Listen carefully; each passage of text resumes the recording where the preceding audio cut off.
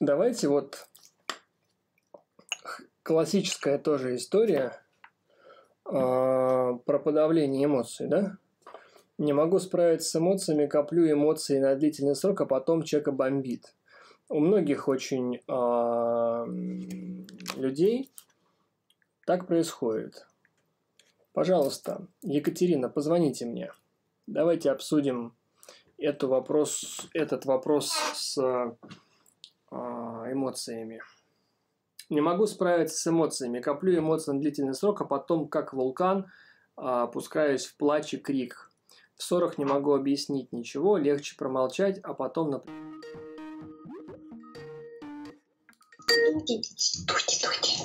Алло. Здравствуйте, добрый вечер. Здравствуйте, добрый.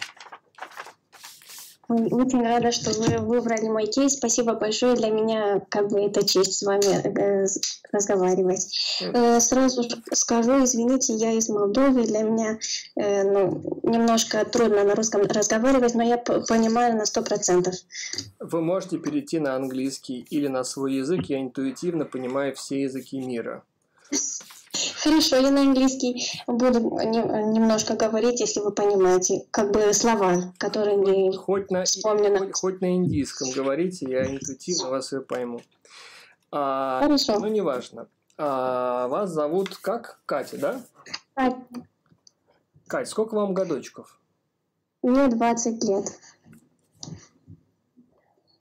Ну, рассказывай. А что такое? Не могу справиться с эмоциями, коплю эмоции на длительный срок, а потом начинается вулкан эмоций. Э, вот недавно был случай, э, я поссорилась очень с моим э, парнем, и я как бы начала кидаться вещами и кричать как, как дебил. Потом я очень испугалась. Я думаю, что у меня как бы истерика, но у меня и панические атаки иногда, и тревога всегда, и напряжение. И я не понимала, в чем проблема, но я увидела, что прямо с детства я всегда копила все, все эмоции в себе, не могла говорить, э, чего я хочу, потому что думала, что меня осуждают мои родители или бабушка, дедушка. И когда, например, мне что-то не нравится в семье, например, кто-то что-то делает или что-то говорит, то есть я молчу, говорю, ну, я умнее, я промолчу, я потом эмоция пройдет, и я нормально смогу э, проговорить с человеком, но потом эмоция проходит, и уже мне не важно объясниться и сказать, что мне было больно, например. А потом все это накапливается, и я плачу или кричу. Вопрос первый. Какие обычно копятся эмоции, каким образом? Гнева. Эмоция гнева и несправедливости. Э, то есть, не знаю, как это объяснить. Когда что-то несправедливое со мной делают или говорят, и очень много гнева я, я увидела, что я коплю. Я даже не знала об этом. Скажите, пожалуйста, приведите мне, пожалуйста, пример ситуации а, из прошлого, где вы трактуете ситуацию несправедливо по отношению к вам. Судя по всему, их, судя по всему, их много из детства. Да, у меня очень много в жизни было и очень плохого, и очень хорошего. То есть всегда были очень хорошие эмоции, очень плохие. Я сейчас помню, только минутку дайте мне. Можно хоть две.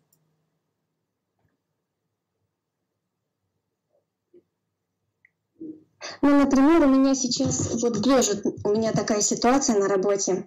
Я, я работаю в компании автозапчастей, и у, у меня есть девушка, которая работает, коллега. Она прозванивает клиентам и предлагает э, им на депозит или возврат денег. То есть у них рекламация, они отправили, например, запчасть, и она спрашивает, если они хотят деньги назад или в депозит. А я делаю гарантии, рекламации. Вот сейчас 10 минут назад поговорила с самым дебильным клиентом, которым можно было быть, и я получаю ту же ставку, что эта девушка. То есть это мне очень больно, потому что я работаю намного лучше, больше, но получаю даже меньше, чем она. А у вас сестра есть? Нет. Братья? Нет, я одна. А с кем вас все время в детстве сравнивали? Я не думаю, меня никогда не сравнивали, просто я, у меня такое, я хочу всем доказать, что я молодец, это с детства. Я это знаю, поэтому и спрашиваю. А, обычно такое бывает, когда кого-то с кем-то сравнивают. В вашем случае... Мне мама говорила, что, мне бабушка говорила, что мама хотела сделать аборт, плюс все хотели мальчика, и всегда хотела доказать, что я не хуже мальчика. Вот и работаю с запчастями. Ну да. И как получается? Нет, получается меня всегда хорошо, я всегда первая, и у меня такой прям оргазм, прям я всегда первая, всегда все могу, все меня хвалят, но я так много работаю, так много учусь, что мне прям бабушка говорила, что я сойду с ума однажды из-за такого, такой нагрузки, и вот так и случилось.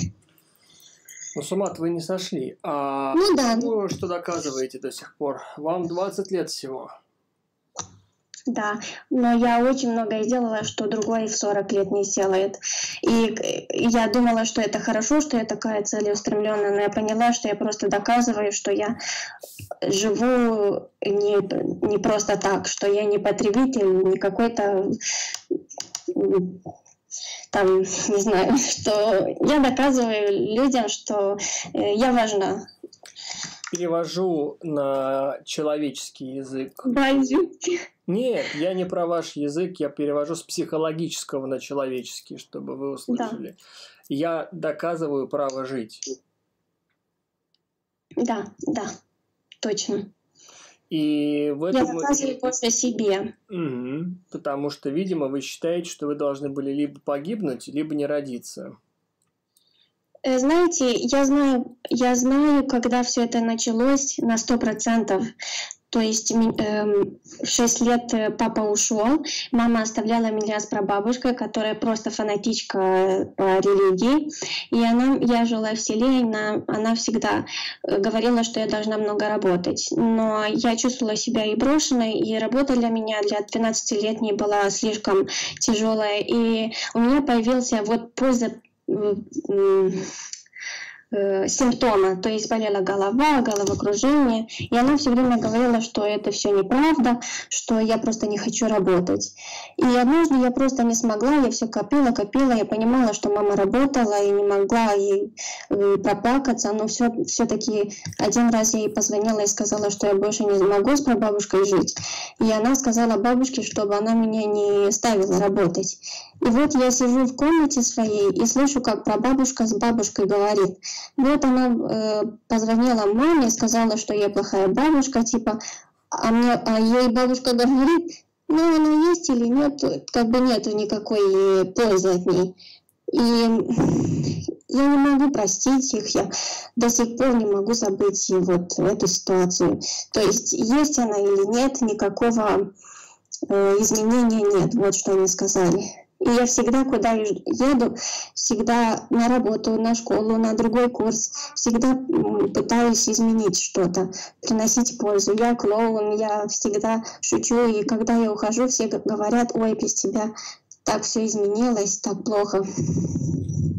Вот с того момента я себе сказала, что я стану просто офигенной женщиной и никогда не вернусь к ней, и она увидит, как плохо без меня. И еще папа, да, он на меня не обращал внимания, и вот почему.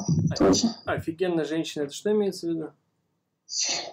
Я тебя вижу, я себя всегда вижу э, очень улыбчивой, э, уверенной, красивой девушкой, очень женственной которая я вижу себя э, мечту, вижу себя как бы музу, чтобы вдохновляла людей учиться, работать, делать какие-то красивые вещи в жизни. Я очень люблю учить людей, то есть я, я очень это люблю.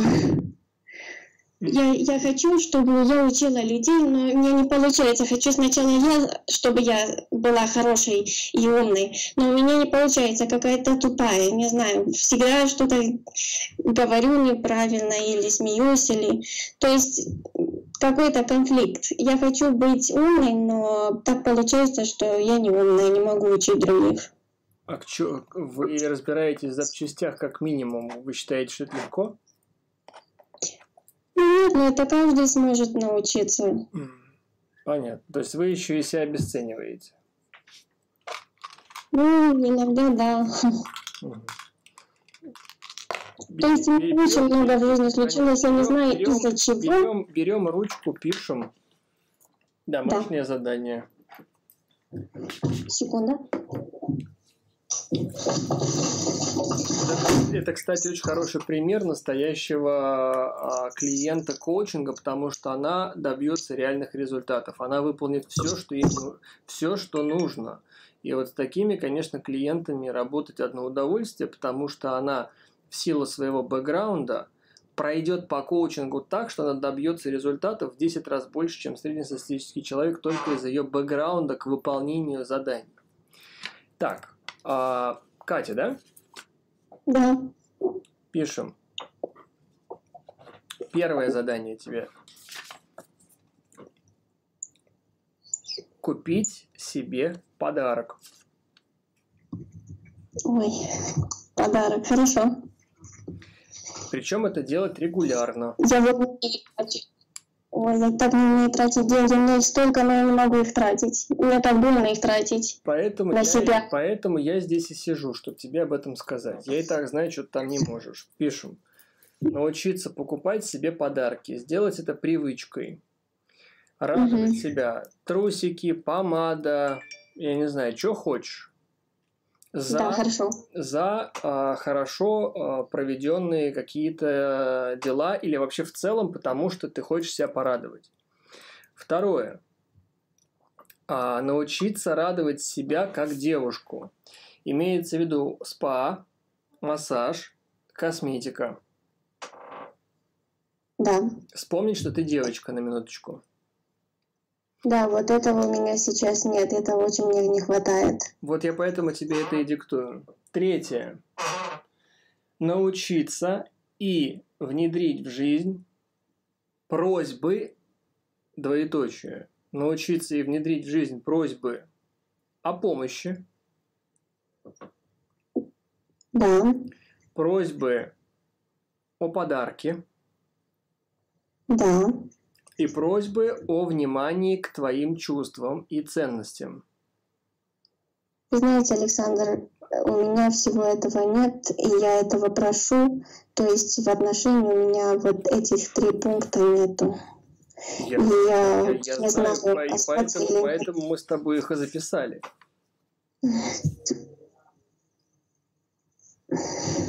Вот я не знаю, у меня я не знаю, остаться или нет в, в этих отношениях, потому что этого у меня нет. Прочитай еще раз эти три пункта. Помощь, подарки и внимание. Просить, э, просить это. Угу. Э, тебе смотри, подарки, вот сделать тебе такую привычку. Катя, угу. у тебя нету в отношениях помощи, подарков и внимания. Как ты думаешь, почему? Потому что я сначала научила человека быть таким по отношению ко мне. Но я думаю, знаете, как бы, то есть э, он не обращал на меня внимания, я сама сказала ему, давай встречаться, давайте туда-сюда, то есть все эмоционально все сделала я. И я переехала к нему, не попытавшись узнать, какой человек. И сейчас мы видим себя друг друга, какие мы есть, и ну, как-то не состыковывается. Сколько... Он очень похож на моего папу. То есть еще бы. Какая неожиданность. А сколько ему лет? 23.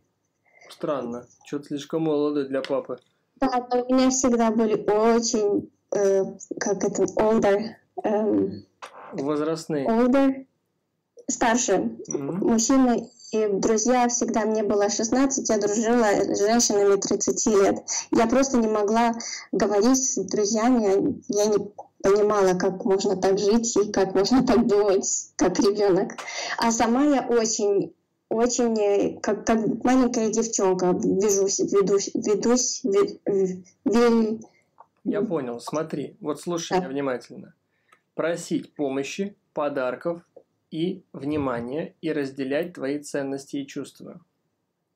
Ты подавляешь Мгм. свои чувства, вот ты пишешь в кейсе, не могу справиться с эмоциями, коплю эмоции. Ты копишь эмоции, потому что тебе хочется, чтобы о тебе позаботились. Хочется, чтобы Да. к тебе отнеслись справедливо. Хочется, чтобы тебя поддержали, похвалили. Хочется, чтобы к тебе проявили инициативу. Но об этом сказать ты себе запрещаешь. Вот сейчас практикуем.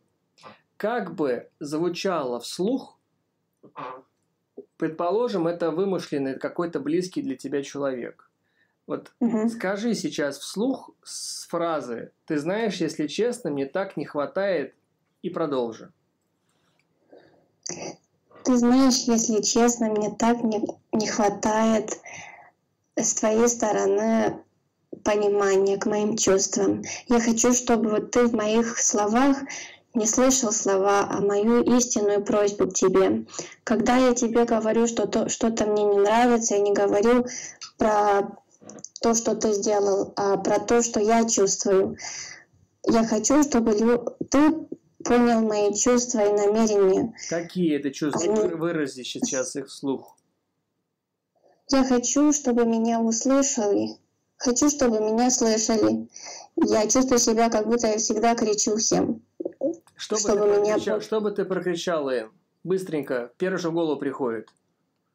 М, м, Чтобы я прокричала. Я бы дал тебе в рупор, рупор сейчас в руки. Мы с тобой на площади, у тебя в центре Кишинева стоим. а, Площадь, центральная улица. У тебя стоит, у тебя рупор в руках. Что ты крич- крикнешь людям? Хочу свободу. Конкретно. Хочу делать то, что я хочу. Я имею право на... Кричи громче. Я имею право делать то, что я хочу. Но я боюсь этого просто.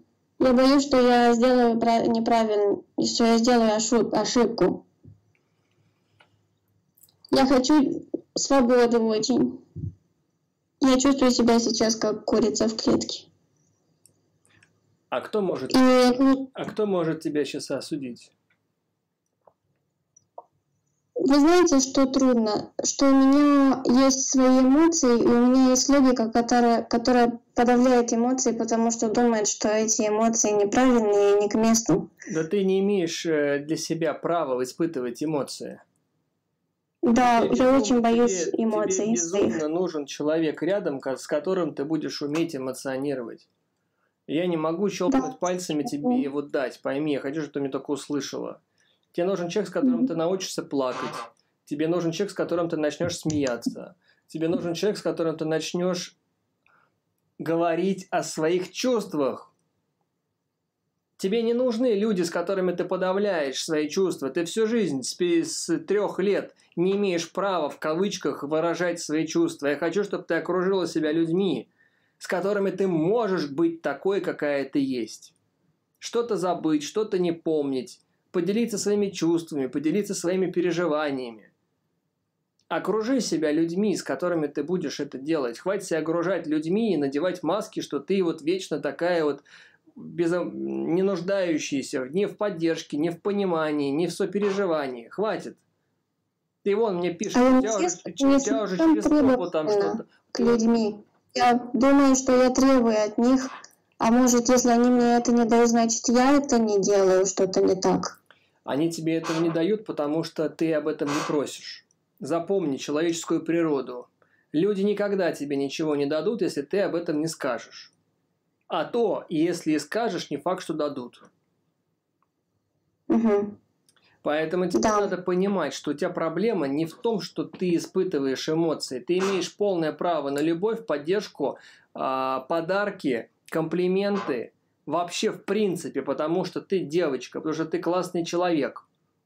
И тебе не нужно это зарабатывать.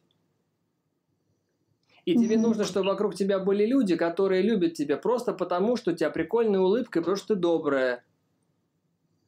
Да, а не потому, что ты классно делаешь какие-то вещи. Поменяй людей в своем окружении. Пускай у тебя в окружении будет 3-4 человека, которые, с которые с тобой смеются, которые с тобой хохочут, которые с тобой плачут и которые с тобой молчат. Чем 50 человек, с которыми это типа правильно. А потом ты кипишь. Потому что если бы я дал тебе в руки рупор в центре Кишинева, ты бы прокричала «Я хочу быть настоящей». Да, да. Так и будь ей. Нет никаких Ой, проблем. хорошо. Ты просто этого не умеешь. Не потому, что это плохо, а потому, что ты не привыкла. Тебе надо это сделать на поведенческом уровне. Ты должна к этому привыкнуть. Делать это надо. А для этого нужно, чтобы у тебя была среда определенная. А чтобы у тебя была определенная среда, нужно, чтобы у тебя люди были в твоей жизни с тобой, другие. Да, Александр, вы в точку. Вот у меня был период, я никогда его не забуду. Родители уехали, я осталась одна, я была с моими друзьями, шла в школу, как бы у меня все было отлично, я все решала. Вот проблема была, э, не проблема, а изюминка была в том, что я была одна, и я решала все свои поступки, что делать, что кушать, куда идти. Вот тогда я была на сто процентов счастлива. А в других ситуациях всегда с кем-то и не могу принять свои решения.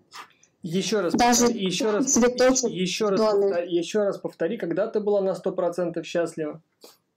Когда э, я была одна, то есть я не жила ни с кем, э, у меня были друзья, у меня была, я работала на себя тогда, у меня были отличные результаты в школе, то есть мне было 16 тогда. Эм, Я была тогда на 100% счастлива, потому что я и покупала себе подарки, и ходила с друзьями в ка- караоке, в- на, на кофе, туда-сюда. И у меня было время для себя одной, просто я, просто с собой, с компьютером или с фильмом, или в ванной. Вот Что, у меня что мешает сейчас это вернуть? отношения. Ты прям сказала, Я как, боюсь. ты прям сказала, как будто ты в тюрьме. Как что? Как будто ты в заключении. Да, я так себя чувствую. Мне очень жалко, я не могу, я боюсь, я как бы, мне жалко человека, я боюсь расстаться. Но не удивила сильно ты меня. Как бы я хочу сначала как бы поднять, а потом уже оставить. У нас сегодня прям финальный день э, точки роста. Одни спасатели здесь собрались, да? Слышала Да. кейс предыдущего адвоката Полины? Извините, я работаю из дому, я даже очень э, порадовалась, что как бы смогла сегодня поучаствовать. Я, я Подожди, послушала. подожди, понятно. здесь- Вопрос. Ты продолжаешь страдать, ты продолжаешь подавлять свои эмоции, чтобы а, не выразить их, и кто-то к ним как-то не отнесся. Ты продолжаешь Да. молчать о своих потребностях. Ты продолжаешь отношения, в которых ты быть не хочешь, потому что боишься расстроить.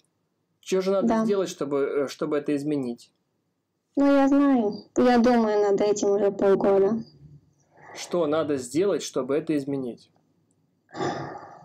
Расстаться, потому что я с человеком говорю открыто, что мне не хватает, очень открыто, чего я хочу, все мои травмы детства, все, я все, я очень много работаю над собой, вот с психологического точка зрения, точка зрения, и я открыто говорю человеку, какие у меня психоэмоциональные проблемы, но ничего не меняется. То есть я понимаю, что куда это ведет. Понятно. И как ты себе запрещаешь э, быть счастливой, и как ты себе запрещаешь расстаться? Эм, нужно еще раз другими словами вопрос. Как ты себе запрещаешь расстаться? Как? Какими мыслями? Ну, как, почему ты не можешь расстаться? Как ты говоришь нет? Потому э, что я безумно благодарна человеку за всю помощь, которую он мне дал. И э, он очень практичес- пра- практичный и умный человек, и он реально любит меня. И я чувствую себя просто тварью, если я это сделаю. мгм. Извините. Он а, не оказывает мне поддержку, не дарит мне подарков, не сопереживает. Я говорила с ним об этом, просто для него это не, не сверхценность, что ли. Он поддерживает хорошо, меня всегда. Перечисли, что он делает для тебя хорошего. Эм, он всегда делает эм, решения на сто процентов хорошие. То есть его решения всегда лучше моих. Он очень адекватный человек. Он, он как мой он папа. делает для тебя хорошего? Эм, ну, возит меня туда-сюда, решает мои проблемы, ищет, э, например, я что-то хочу купить, он ищет подешевле, получше качество, например. Это уникальные качества, да, я так понимаю? Не, ну он, он очень внимателен, то есть он пытается, он очень пытается. Я вижу это. Просто есть вещи, для, которые для него ну, ну, важно. Вот я, мы делали тест, вот в одном слове вы, вы поймете, мы делали психологический тест 16 э, personalities, просто для интереса. И был вопрос, на который я ответила, э, то есть для меня важнее эмоции человека, который со мной, а не правда, а для него важна правда, а не эмоции. И это всегда так. Он никогда не думает о эмоциях, он думает о правде. А почему же ты хочешь есть... расстаться, если он такой клевый?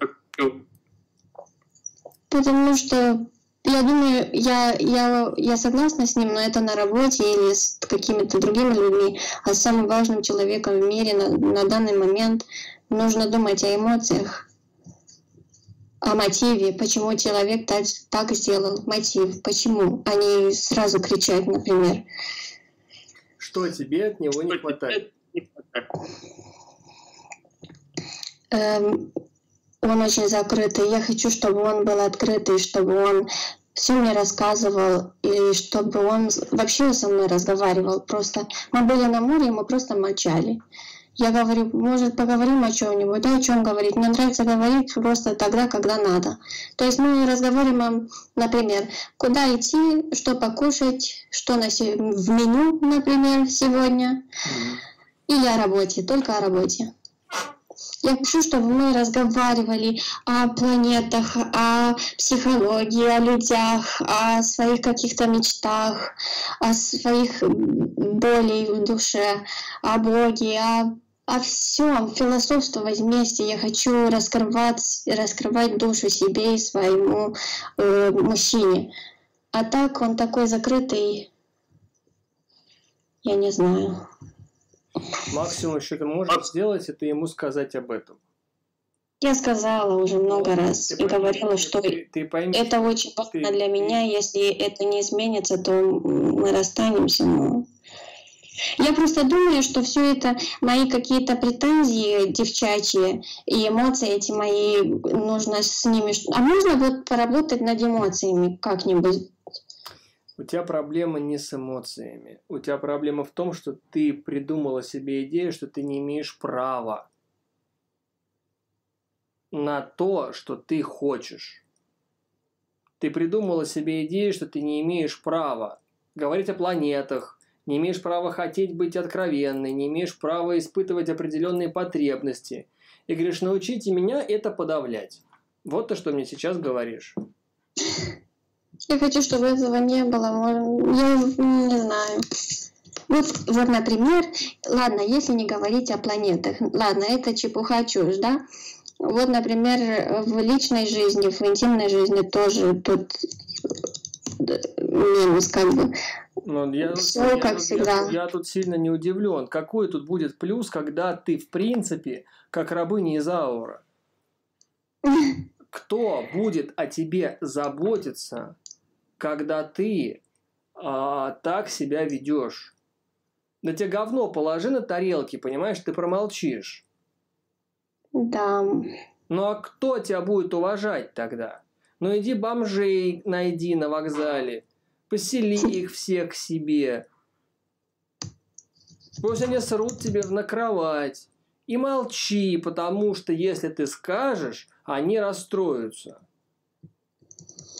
Да, даже если есть такая ситуация для меня ненормальная, я могу сказать прямо человеку, но я очень после этого трясусь прямо в голосе, потому в сердце. Запомни эти слова, потому что центральная проблема не в этих эмоциях, а центральная проблема в том, что ты запрещаешь себе открывать даже рот. Потому что посыл транзактный «я не имею права быть». Почему так? Потому что так сложилось твое детство и поведение матери. Ты себе так рассказала, что ты не имеешь права быть. Это твоя базовая ошибка. А ты имеешь право послать человека нахуй, сказать, что тебе не нравится, сказать, что вообще-то я хочу внимания, цветов и подарков. Ты когда последний раз просила тебе цветы подарить?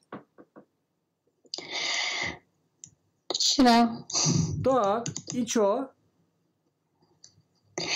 Ничего. А как ты их попроси... А как ты попросила? Как ты попросила? Ну, я говорила, вот я цветы хочу. А он сказал, и? Типа, откуда такие мысли человек? Да, то есть э, нет такого, давай пойдем в ресторан, давай красивенько оденься, пойдем туда, или давай тебе бузички, давай я тебе куплю что-нибудь, тортик или что-нибудь. Ну, такого очень редко, только когда ты себя чувствуешь плохо. В каком месте это папа? Папа в том, что он на меня никогда не обращал внимания. Я думаю, у него был невроз такой серьезный, и он умер э, четыре года назад. И я так и не поняла, любил ли меня папа или нет. Для меня он такая тайна. То есть, по большому счету, ты мне сейчас говоришь следующее. Если даже я был бы стариком Хатабычем, щелкнул пальцами и сказал «трах, тебе дох, тебе дох, тебе дох», а, и у тебя появился бы перед тобой бы заботливый, теплый, а парень нет, с меня такие с тогда не возбуждали. С большой долей вероятности ты бы выбрала какого-нибудь бомжа-наркомана, который бы тебя пиздил и игнорировал. Э, который бы игнорировал, да. Ну вот, потому что проблема у тебя в посыле. Проблема не в том, что человек а, не делает, а проблема в том, что ты выбираешь таких людей, чтобы с тобой а, так относиться. Что?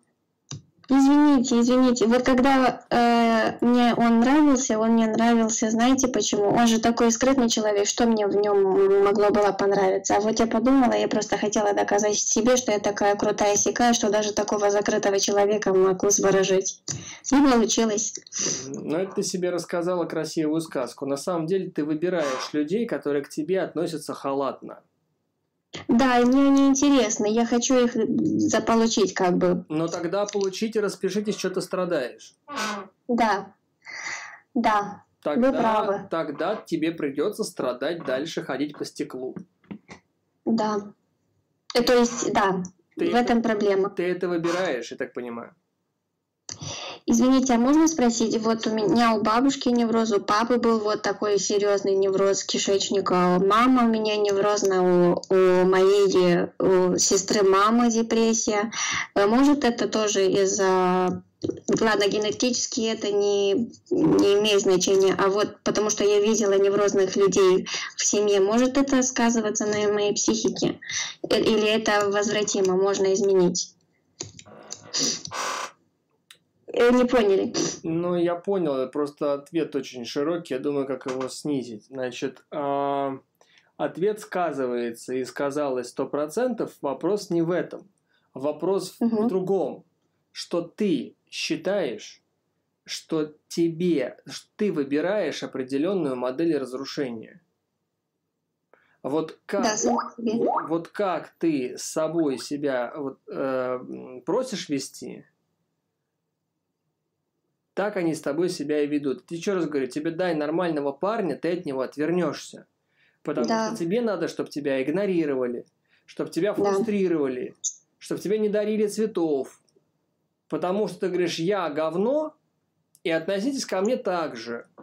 Потому что нормальный человек, который будет дарить тебе подарки, ты от него убежишь. Который будет тебе двери открывать, который будет о тебе заботиться, ты от него убежишь.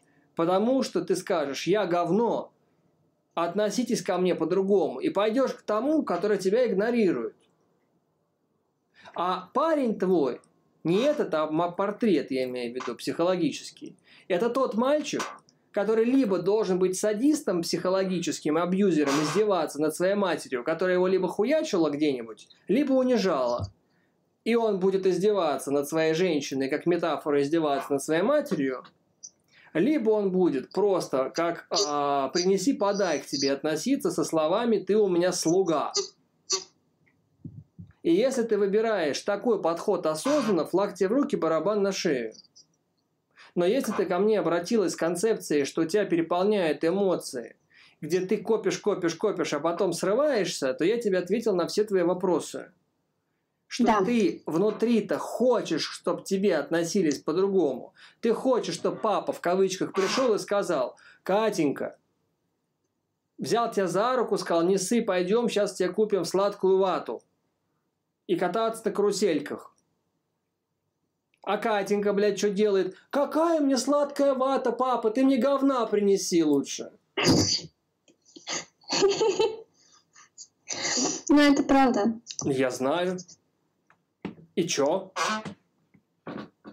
Так, значит, э, работать над э, как бы позволять себе испытывать эмоции. Если я хочу заплакать, заплакнуть. Если я хочу рассмеяться, рассмеяться. Если эм... люди к этому отнесутся критически, если люди к этим твоим эмоциям и к твоему праву на эмоции, и к твоему праву на чувства отнесутся критически, то у меня большие вопросы, зачем тебе эти люди. Да, вот все люди нормально, просто вот он, я всегда, например, шутку такую тупую могу сказать, и он как бы всегда критически относится к моим мыслям. У меня очень большой внутренний мир, я всегда любила философствовать, разговаривать, психология мне вообще очень нравится, и просто нет не с кем поговорить об этом, и весь этот мир просто в себе держу. Ты знаешь, Кать, ты будешь очень классной и преданной женой, и ты будешь очень хорошей мамой. А таких девушек, как ты, а, многим мужчинам не хватает. Потому что ты а, та самая жена, а, которая сделает для своего мужа все. Да. Но я очень хотел бы, чтобы ты свою э, доброту и сострадание коррелировала с тем, чтобы к тебе относились тоже с уважением и с разделением твоих чувств. Тогда ты будешь уравновешена, а не перекошена. Ты будешь стелить простынь, ты будешь заботиться, ты будешь поддерживать и помогать. Это твоя внутренняя суть. Ты такой человек. Да. И это с тобой будет навсегда. Проблема в том, что ты неуравновешена таким же правом относиться к тебе. Ты не просишь, чтобы к тебе относились так же. Ты не выбираешь таких людей со словами, ты знаешь, я вот такая широкая, добрая, сострадающая и так далее. И со мной нельзя, блядь, как с говном обходиться. И вот тогда, когда ты будешь выбирать людей, с которыми, которые, если ты расплатил, расплакалась, или какие-то эмоции, они сказали, Кать, ну не переживай, все будет хорошо, пойдем прогуляемся, все будет не... А не вот это, что ты ноешь, а, слышь? Да. Ну да. Тебе не надо убирать эту внутреннюю, как ты говоришь, широту. Ты такой человек, люди с посылом э, права не быть, у них в жопе, понимаешь, мотор. Они всему миру кричат, что они имеют право быть. Они всему миру будут доказывать, что она на что-то способна, это ты. Проблема даже не в этом, а проблема в том, что ты не считаешь нужным еще к этому относиться с уважением. Потому что если вот этого уравновешивания нет, то ты разрушишься нахер. Да, и как бы я много сделала, но всегда, когда меня спрашивают, вот, например, ты была в Японии, ты такая крутая, такая, я думаю, ой, ну что ты, это вообще фигня, каждый сумеет. То есть я не, А я не ты- думаю, ты- что я ты крутая. любишь какое-нибудь аниме и какие-нибудь тяны, Нет, нет, нет, нет. Я японский сугубо по бизнес-идеям выучила, потому что никто не знает японский в Молдове, и я единственный человек, который может поработать японским. И все японцы как бы мои в Молдове. А скажи по-японски «добрый вечер». Комбанва. Прекрасно. Ну что же, я очень а, хочу То есть мне нужно выйти из тени, да? Смотри, вот послушай меня, я сейчас буду медленно говорить. Хорошо. Ты очень хороший человек. У тебя было непростое детство, и проблема не в тебе. То, как к тебе относились бабушки, прабабушки, мамы и папы, проблема не в тебе. Они так с тобой себя вели не потому, что ты говно, и не потому, что с тобой что-то не так, а потому, что у них у, своих, у, у самих в голове какие-то заебы, как надо относиться с людьми. И ты здесь ни при чем. Ты не просила себя рожать, и не просила Да. к тебе относиться как к говну, понимаешь, не уважать твои чувства, потребности и эмоции. И ты Да. имеешь полное право просить у людей уважения к твоим чувствам, эмоциям. Ты как девочка имеешь право на ухаживание, на поддержку, на слезы, на чувства и на эмоции, на потребности. Ты имеешь право открывать рот и говорить, ты знаешь, а мне не нравится это, а мне это не подходит. Потому что ты настолько добрый, широкий и а, помогающий человек, что ты должна иметь право просить к себе взаимности и наделять свою жизнь людьми, которые это твои качества уважают. Но если ты будешь продолжать вести себя так сердобольно с людьми и параллельно еще относить, разреш- разрешать к себе относиться как к говну, не просить ни о помощи, ни о поддержке, ни о подарках, ни о внимании, то ты разрушишься через два года. Да. И чтобы не было подобных всяких вот выпилов из мира сего, тебе нужно научиться окружать себя людьми, которые тебя любят, безусловно, которые тебя принимают и могут с тобой просто помолчать. Когда ты заболела, к тебе приедать, приехать, привезти долбанный аспирин и просто сесть сказать, Кай, давай поболтаем. Я же для тебя не приготовил ужин. Да не надо ничего готовить, просто давай поболтаем. Да. Вот что тебе нужно, и об этом надо уметь говорить. И себе дать право, тебе дать право на это. А не как... Я больше, подожди, я больше чем уверен, что в твоем окружении есть люди, которые готовы тебя поддержать, которые Это готовы... что? Подожди, которые готовы к тебе так отнестись. Ты говоришь, не надо. Так разреши им. Позвони, когда тебе херово, скажи, приезжай ко мне, мне так одиноко, давай поговорим. И пускай она приедет. Вот что тебе нужно. Тебе нужно право себе на это дать. Да, вы правы. У меня есть такие люди, просто от самого важного для меня человека этого нет, и в этом и проблема. То есть э, в жизни у меня все отлично, просто вот отношения у меня не складываются хорошо, и я буду работать над этим. Я еще раз поговорю, если это не изменится, я очень долго себя мучила с этой фразой «стерпится, слюбится», но если не, это не изменится, значит наши дороги Как выглядит идеальное уравновешивание тебя в жизни?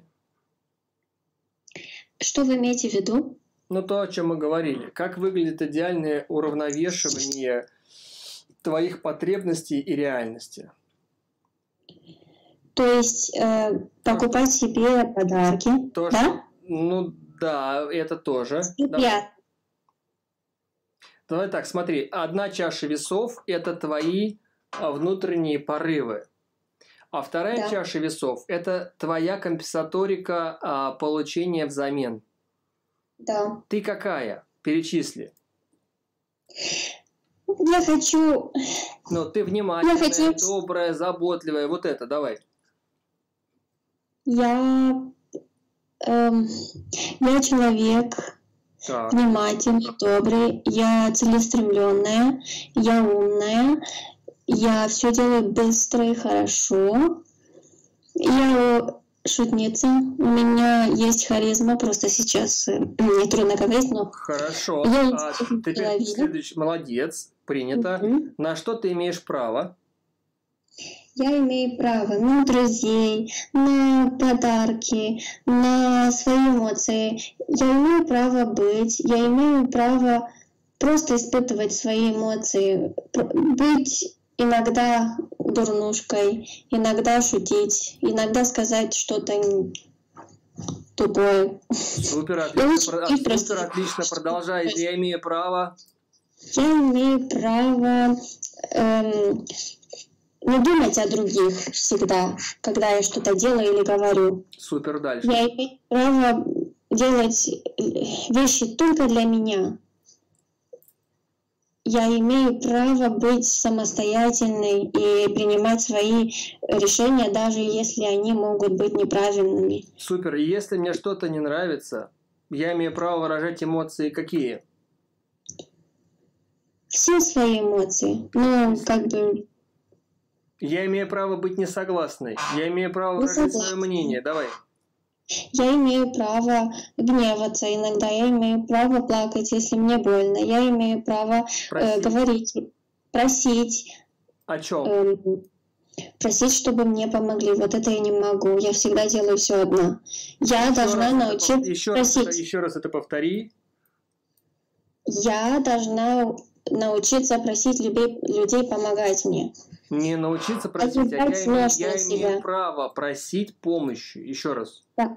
Я имею право просить э, помощи. И да, Что ты еще имеешь право просить и выражать? просить любви и attention, внимание ко мне как к женщине. Я хочу комплименты, я очень хочу комплименты. Он мне делает комплименты. Да. Не потому, что он плохой человек, а потому Нет, что он нет. такой, какой он есть, а ты не просишь. Я прошу, я, я очень боюсь, что я э, кажусь э, требовательно, Да ты требовательной. право это имеешь, но какой требовательный. Ну, он же меня ничего не просит. Вот видишь, куда ты будешь все время съезжать. Мы сейчас с тобой перечисляли обычные права любого человека, даже бомжа. Просто я думаю, что это несправедливо. Если он ничего не просит, почему я требовательна? Значит, проблема со мной, во мне. Просто у меня мама была очень Он ничего очень не хочу просит, быть как она. Он ничего не просит, потому что он контуженный своим детством по-своему. Поэтому он ничего не просит не от тебя, он вообще от жизни ничего не просит. Он Да. с тобой на отдыхе и молчит, потому что он пока он контуженный по-своему. Но это не значит, что ты не имеешь права на свои потребности. И ты не подписывал, чтобы его контузию разделять всю жизнь.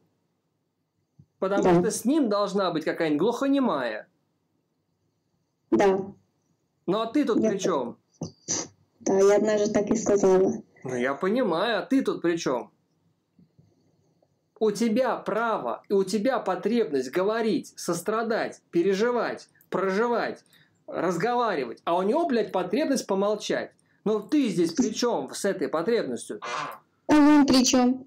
И он ни при чем, просто вы разные люди. Да, значит, понятно. И не Если надо- уже два не года надо вместе, себе- не не надо случилось. себя винить в этом. Просто вы разные психологически. Да, просто для меня это какой-то фейл. И я не сумела, я не справилась. Но я буду работать над этой мыслью. Я понимаю, что это тупец. Я- да. Я искренне, сейчас мы заканчиваем, и я тебе Да. напоследок хочу пожелать, а, чтобы ты запомнил, что такое уравновешивание. Ты всю жизнь будешь очень доброй, искренней, теплой женой, преданной а, и прекрасной матерью. Ты будешь очень а, честной и благородной. Но я бы хотел тебе искренне пожелать, чтобы рядом с тобой был человек, который все это оценит, который все это будет ценить и относиться к тебе еще больше с таким же уважением и с такими же чувствами. Помимо него, я бы хотел, чтобы вокруг тебя были друзья, которые просто, без всяких условий, могут просто быть рядом, и с которыми ты можешь быть и дурнушкой, и смешной, и нелепой. И вот если ты выстроишь такое, то все у тебя будет прекрасно. Но если ты позволишь и продолжишь давать себе хоть намек на то, что ты не имеешь права на свои чувства, эмоции и потребности, то ты будешь скатываться в саморазрушение. Услышала меня? Да. Ну и финальный вопрос традиционный. Мы можем показать этот кейс на YouTube? Да, можем. А как мы его можем Есть. назвать? Эм, Как бы ты его назвала? Говорит, давай так. Придумай короткий сейчас посыл миру. Представь себе, что этот кейс – это твой посыл миру, потому что таких девчонок, а, Кать, дохера. И они, когда посмотрят этот кейс, они тебе все скажут спасибо. Как бы ты хотела назвать этот кейс? Можно я подумаю, и потом напишу? Э, где-то две минуты. Мне написать лучше, чем э, говорить. Ну, ты прекрасно говоришь, хватит себя обесценивать. Как бы первое, что в голову приходит, как, как, как бы этот посыл бы звучал? Эм, Ой. Как бы я хотела назвать это видео, да?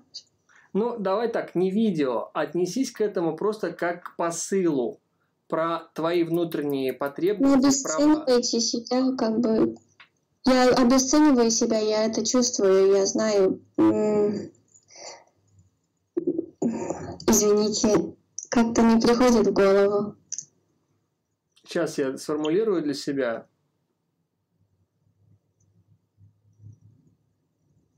Я хочу быть искренней и Давай назовем его «Я имею право быть». Давайте, я имею право быть. Как ты понимаешь эту фразу?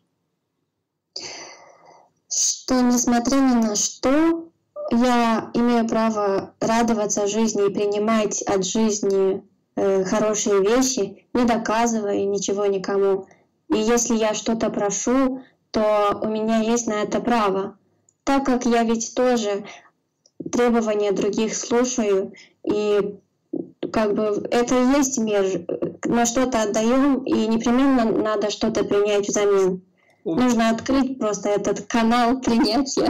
Аллилуйя. И вот на этом мы завершаем точку роста. Я отдельно хочу тебе сказать, что твой прекрасный кейс, а, и ты прекрасный человек, который завершает э, проект «Точка роста», и этим классным, прекрасным кейсом а, мы завершаем мою программу. Я тебе отдельно за это благодарен.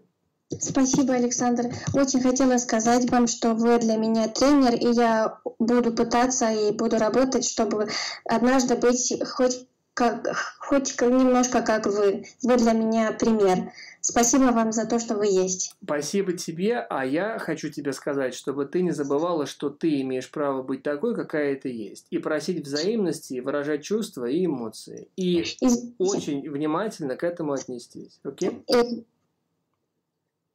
Извините, эм, я записалась у вас на персональке. Может, через полгода мы опять встретимся. Я буду работать над собой.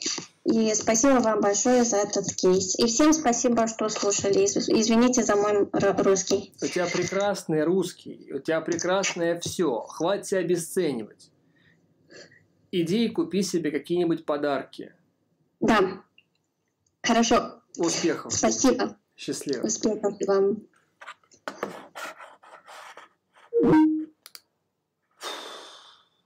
Ну что же, мне кажется, это был прекрасный финал точки роста. А, Очень много людей поведение родителей а, интерпретирует как отсутствие прав на свои чувства и на свои свободы, на свои потребности. Вот перед нами сейчас была прекрасная девочка с очень искренними и наивными даже, и открытыми широко глазами. И я постарался вам показать, как больно и не просто, а мне бывает все это слышать. Потому что когда ты видишь людей, которые борются за право жить, стараясь для людей принести самое лучшее, но они выбирают людей, которые этого не ценят, которые их обесценивают, которые их игнорируют, которые даже на просьбу о цветах и открытой двери а, оценивают с кислым еблом, понимаете? И это больно. И это расстраивает меня. И это грустно. Но я не могу взять и дать этим людям других людей. Я не могу дать этим людям, а, потому что это их жизнь, это их терапия, это их состояние. Я могу лишь показать это, как человек не дает себе права на это и саморазрушается, и делает это как слепой котенок по граблям. Единственное, что я могу, это снять повязку и показать эти грабли. А будете выступать, наступать на эти грабли или нет, это уж решать вам. Спасибо вам большое за то, что вы слушали этот кейс. Спасибо вам за точку роста. И если вы хотите так же глубоко и так же интересно, я жду вас на 20 сезоне, который начинается уже в ближайшее время, а именно 1 октября. Буду вас ждать на 20 сезоне. И отдельное спасибо Кате за то, что она разрешила этот кейс выложить.